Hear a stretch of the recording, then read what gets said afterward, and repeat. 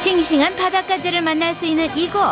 어떻게 먹어도 맛있는 녀석이지만 아음새의 맛이 다르다는군요. 순놈은요 이제 육질이 탱탱하고 맛이 쫄깃쫄깃하고 방콕 같은 경우에는 내장과 그 알이 좀 차지하고 있는 부분이 많은데 또 고소하고 어, 그렇군요. 이제 취향에 따라 골라. 드세요.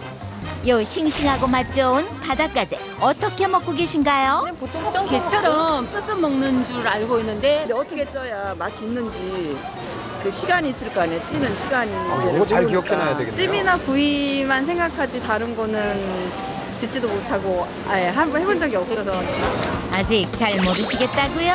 바닷가재 요리의 모든 것 지금 공개합니다.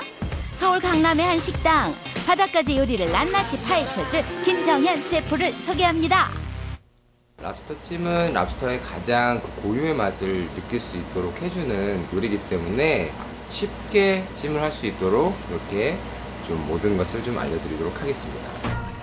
바닷가재를 그냥 찌면 꼬리가 말려서 먹기 힘들잖아요. 그럴 때 꿀팁 하나 바로 젓가락을 꽂아서 찌면 됩니다. 배가 위로 향하게 넣고 찌는데요. 찜은 시간이 가장 중요하대요. 암컷 같은 경우에 수컷보다 한 5분 정도만 더 쪄주시면 돼요. 암컷은 알과 내장이 잘 익었다. 많아서 좀 더 오래 익혀야 합니다. 수컷은 20분, 암컷은 25분 꼭 기억해 두세요. 네.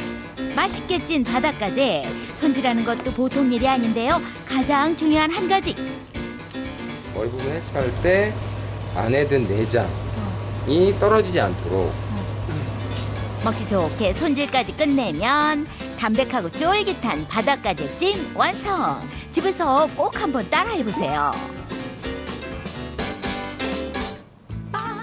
이번에 보여드릴 요리는 바닷가재를 이용한 색다른 파스타인데요.